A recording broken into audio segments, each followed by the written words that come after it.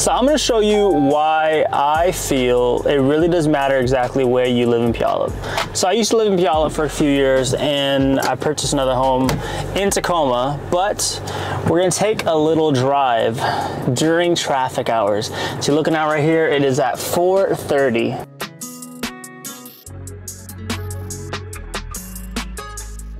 And you know, we already know peak traffic hours in Puyallup in Meridian, which is the straight shot road that basically everyone has to go through. For the most part, we all find our own little ways to kind of go somewhere else to find our ways to go in Puyallup. Why it really does matter in terms of where you live in Puyallup, because it can really change things when it comes to your commute. If you live in the north end of Puyallup, mainly near the fairgrounds, or just we can just call it Northern Puyallup or downtown Puyallup, you're not going to be dealing with all the traffic that comes with living in this area that's basically been booming forever. Puyallup was a small farm town back in the day, but now with all these communities being built in that area, it is, in my personal opinion, overpopulated. Why is it overpopulated? Because it was a good place to live. Um, you know, people do say, oh, crimes went up, but in terms of crime in general, Pierce and King County, they lead the entire Washington state. So you can't be too picky because kind of is what it is when you live in those areas.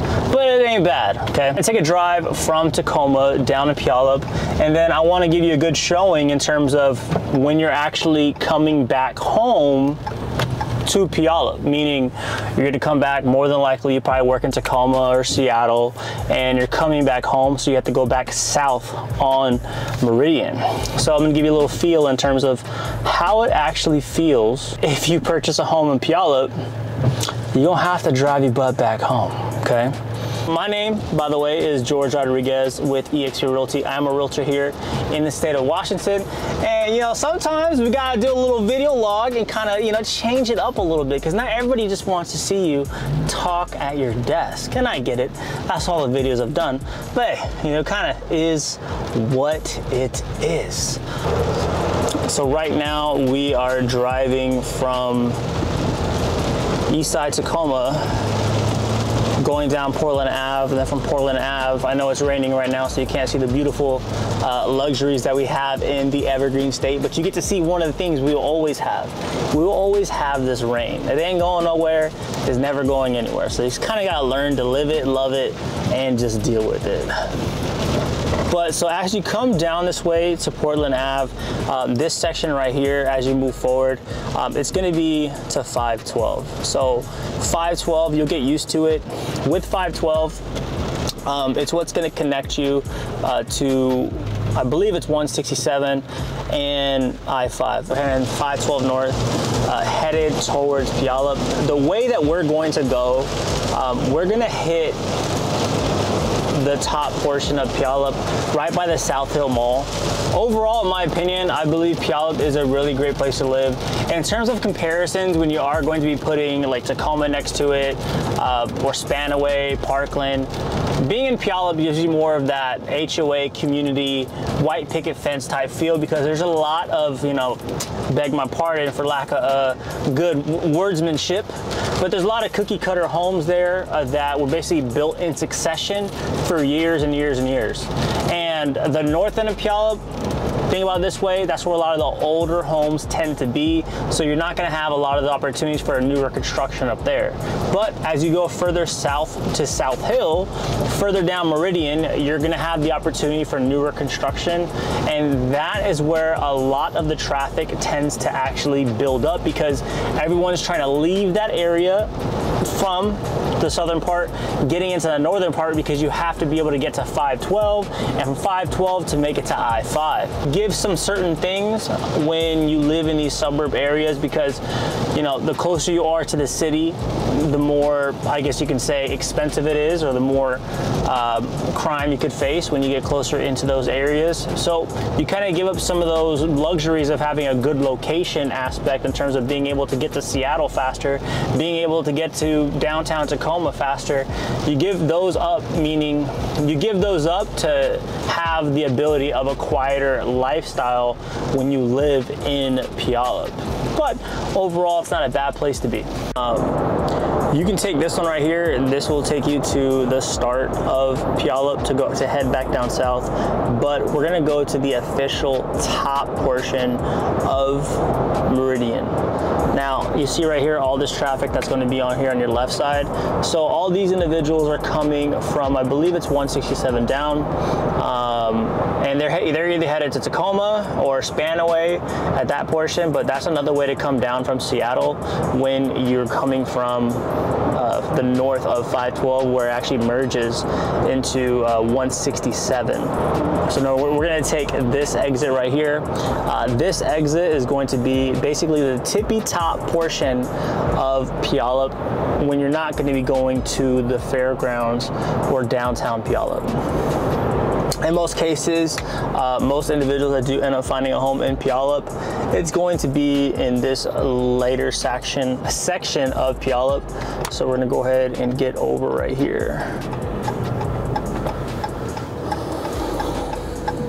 So personally with me, uh, living in Tacoma, coming to Puyallup, it probably takes around like, I would say a cool like 15 minutes to get to Puyallup. Where I'm from, basically it's the perfect location for being able to touch 512 and I-5, so it just works out perfectly for me.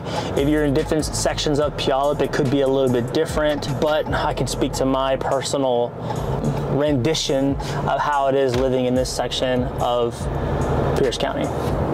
Welcome to Armageddon, that is Meridian.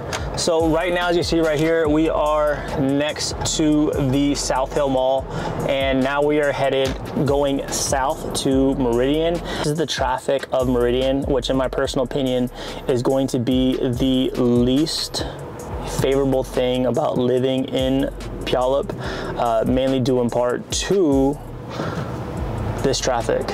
So it's not a bad thing. There's traffic everywhere, not just here, but in the whole United States. But there's different locations that have more so than others.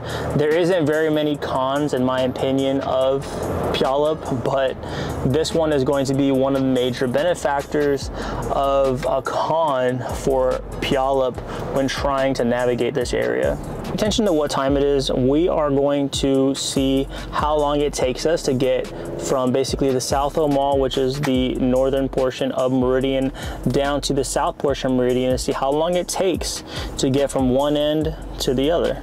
And that's gonna give us a good idea in terms of how far excuse me, how long it's gonna take you to really get home. Because after a long day of work, the last thing you're trying to do is spend an ungodly amount of time in traffic trying to get home.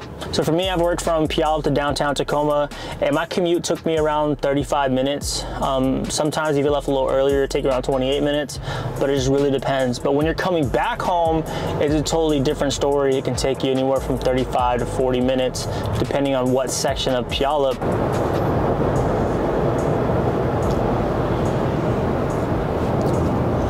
So this area of Puyallup right here, this is gonna be where a lot of your automotive centers, gas stations, you got Starbucks over here, McDonald's. This is where a lot of your storefronts are going to be in terms of um, retail access for yourself. This main strip has basically everything you're going to need um, when trying to get anything. See, a lot of your retail centers are gonna be here. A lot of your fast food chains will be here as well as Chipotle's right here. So basically Puyallup's gonna have its own way of taking care of you in terms of if you need any centers, you have Target back by South Hill Mall, you have Walmart's on the bottom end, the top end, uh, Home Depot, Lowe's. You have plenty of stores here that can take care of you. So if you are living within Puyallup, the nice thing that you're going to have is being able to have all these storefronts to really handle all of your needs. This little plaza Longston Place right here is gonna have the biggest movie theater that they have for Puyallup. So this is gonna be, right here is gonna be Regal Cinema. This Regal Cinema generally is where you're gonna go to have those little movie nights for your kids. You have a Safeway right here.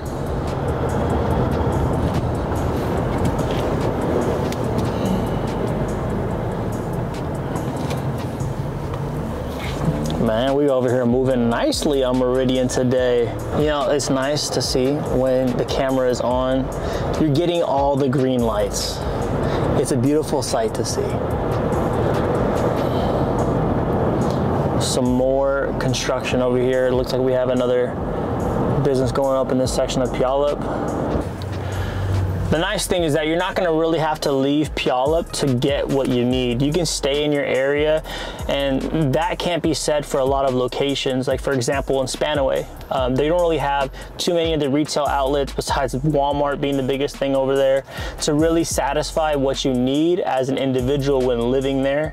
But with Puyallup, they have everything that you could really ask for. They even have a Costco over here, a movie theater over here. So to take care of the needs of your children, it's easy to be had in Puyallup. But of course, when it does come to certain aspects, I mean, they don't have everything, but in terms of suburban living, they can really cover all of the basis of what you really need. So you don't have to leave Puyallup to get something that's not here. Because basically everything is here. Minus some you know good activity with the sports team events. Of course you're not going to have that in this section because hey man there ain't no sports teams in Puyallup besides your kids softball team or your kids wrestling team all right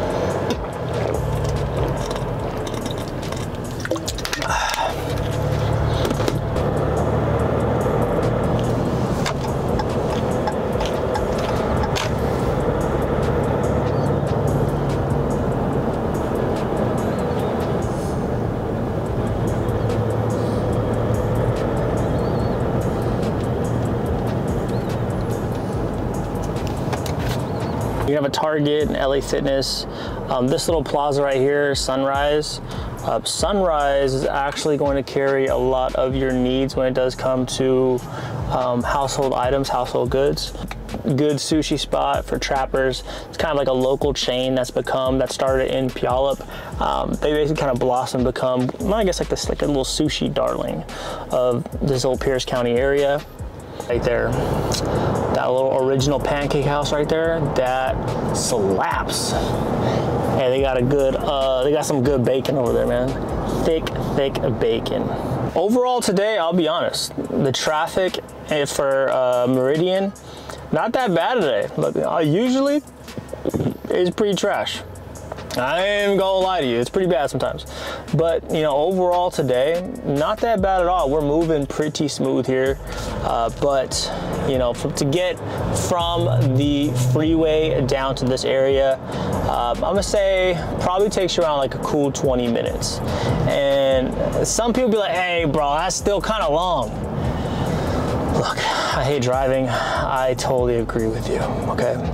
I totally agree with you but you know it's usually just about how long it really takes um, in this area. But you know to me it might feel like the norm here. But I, I could be tripping. I could be tripping. Am I tripping?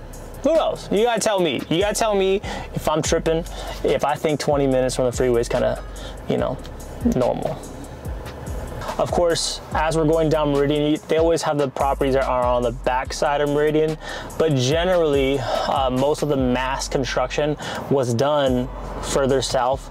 So essentially, think about it this way. If you purchase in South Hill, the southern part of Puyallup, it's probably gonna take you around 20 to 25 minutes to get to your home from the freeway, and that's not accounting, you know, if you live in let me that's not accounting if you work in Tacoma or even Seattle for those that commute that far uh, south to get from their workplace to their residential home.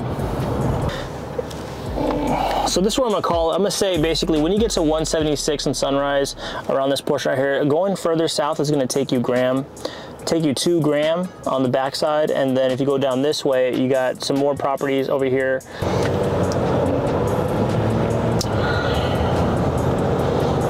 So it's gonna take you from the freeway just about, I wanna say, let's just average it and call it 20 minutes. It's gonna take you around 20 minutes to get from the exit from 512 to the north end of Puyallup to about the southern end of where you gotta go to to get to your residential home in the southern part of uh, Puyallup. As a quick recap, it is gonna take you around 20 minutes to get from 512 to the south portion of Puyallup to South Hill uh, because Meridian, the traffic even today was pretty good. Honestly, there wasn't much stop and go. Not a lot of uh, vehicles on the road. Of course, it is five o'clock, and really the peak hours of Meridian traffic is actually going to be around three to four o'clock. So we did kind of dodge that, but still, if we did have that type of stop and go traffic, you're going to be looking at around 30 minutes to get from the freeway portion down to the southern part of Puyallup, which is why personally, when, when people want to get my personal opinion of Puyallup, it's going to be that, well, if you live in the southern portion, uh, excuse me, if you live in the northern portion, you're not to have any of the traffic and you have a free straight shot to I-5 after you take, you know, a couple roads to get there, but it's nothing like how it is when you are working with the uh, southern portion of Puyallup. So this video is gonna be really helpful for you to kind of feel in terms of how it looks driving through Puyallup on a nice rainy day in Washington, but also to kind of make you understand in terms of what the traffic is like when you live in Puyallup. Because it takes some time to get from I-5 to 512 down to Puyallup because it's not a straight shot connection for Puyallup to hit the actual interstate.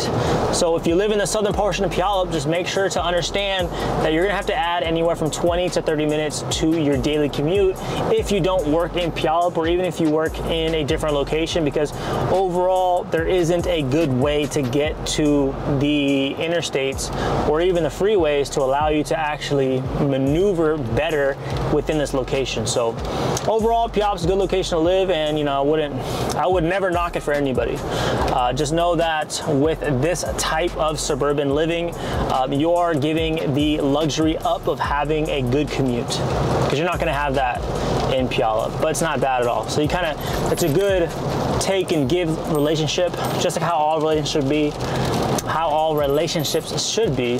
My name is George Rodriguez with eXp Realty. Of course, this is going to complete this video. And if you need to help buying or selling real estate within the state of Washington, don't be shy, don't hesitate. All contact information is going to be right here in the video, as well as in the description as well. So without further ado, you take care.